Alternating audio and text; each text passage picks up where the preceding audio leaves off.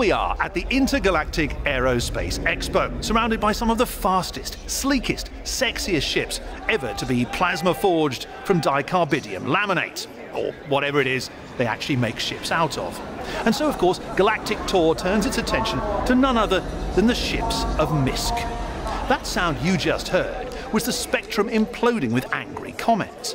But to those of you who doubt the beauty that resides in these flying steel sausages, I say to you that there is no manufacturer currently making ships half as interesting as these bastardized hybrids of human and Xi'an technology.